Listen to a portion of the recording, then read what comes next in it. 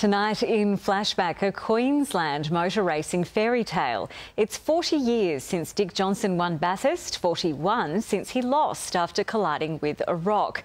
Both events inextricably linked. Max Futcher reports. If he keeps that up, I hate to think what the final lap time Oh, he's hit the fence oh. and he's gone off the track into a tree. Yeah, that was uh, a little bit unexpected. Australia. I'm Mike Raymond for the 7 Network. Welcome to our telecast. Australia's great race never won by a Queenslander, and in 1980, Dick Johnson was leading. Oh, we've had another bang, and is that the Dick, race? That's the leader. Dick Johnson. The message we're getting back from our camera position there is he's hit a rock. Spectators rolled it down the hill. Unless I can get $40,000 to rebuild the car, you've lost me. The telecast became a telethon. Dick, the switchboards at all the seven stations across Australia are jammed of people who uh, so upset about what has happened and they are ringing and just genuinely pledging money to help you. Checks flowed in $78,000. So Dick got building to repay the faith. It gave me as much pressure as I've ever had in any year, so I didn't want to let anyone down. Public support was enormous. I'd love to have a beer with Dick to wish him well at Bathurst. And we know this year he'll do the trick. We have touch-off for the 81 Hardie 1000. Johnson and Dick Johnson of Queensland. But on lap 122... And we've had a horrendous crash at the top of the mountain. We cannot have a restart. Well, that means that Dick Johnson is the winner under those conditions? Yes, he has won.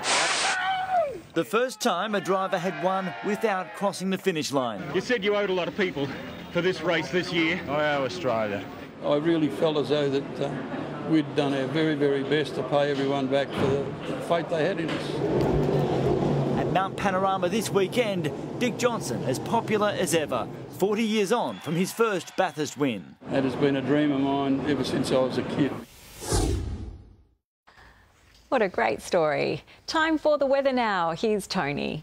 Thank you, Katrina. Hello again, everyone. This was the scene at Mattapilly late yesterday as that line of severe storms hurried across the southeast.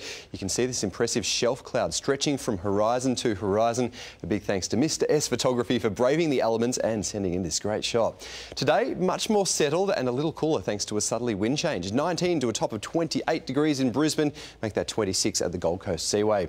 On to tomorrow's chart, southeast winds will continue to bring a couple of showers to coastal parts here while the next round of storms gets going going well inland. These thunderstorms should become more widespread later in the week, reaching coastal areas from around Wednesday. Across the nation tomorrow, plenty of cloud for Sydney and Canberra. A different story in Perth, looking at blue sky and a top of 33 degrees. Back to northern Queensland, a possible shower for Cairns, dry in Townsville and Mackay, and a storm on the way for Mount Isa, 36 degrees there. Heading south, storms for Longreach and Roma, then a bit more settled further east. The odd shower possible for Gympie and Toowoomba. In the southeast, a mix of patchy cloud and sunny breaks with the odd passing shower around. 18 to 29 in Ipswich, tops of 27 for both coasts. So in Brisbane, there's that 40% chance of a shower, but it should be dry most of the day. 19 up to 28 degrees. Looking further ahead, a possible shower, 29 on Tuesday, then afternoon storms more likely on Wednesday for the first day of the Ashes test at the Gabba. Likely to ease to showers from Thursday onwards, tops back into the 30s. Katrina, some more unsettled weather on the way.